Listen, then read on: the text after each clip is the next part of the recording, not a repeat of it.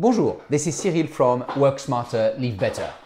In this video, I want to share one little suggestion which can make your day much more productive.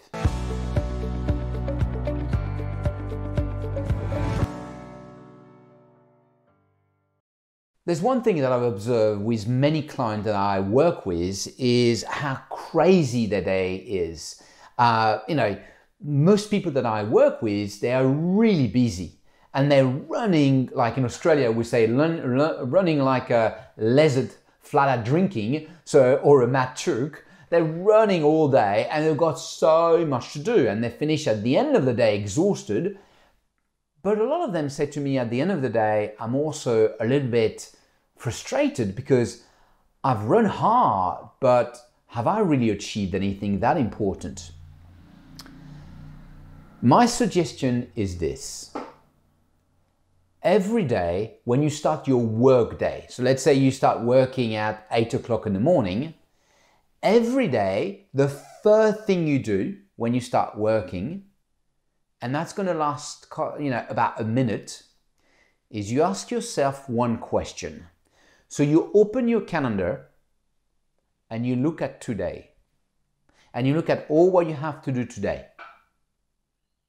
And you ask one simple question what is the one thing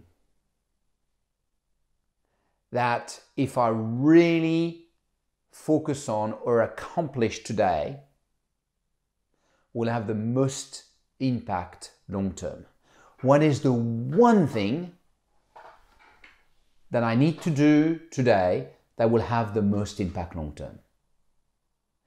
And your aim for today, and I know you're going to have to do many, many other things, but this is the one thing that you really need to focus on, that you really shouldn't miss and it's a mindset to swap your mind or to shift your mind from the urgency of the day to the impact of the day. What is the one thing that would have the most impact long term? Every single day, I start my day this way. I look at my calendar and say, I've got many things to do, but what is the one thing that will have the most impact long term? And at the end of the day, if I've really focused on this one, I leave the day with a great sense of accomplishment. This is my suggestion for um, this week. Um, I hope you enjoy it. It's so easy to practice it. Block this one minute at the start of every day, and that will make a, a big difference.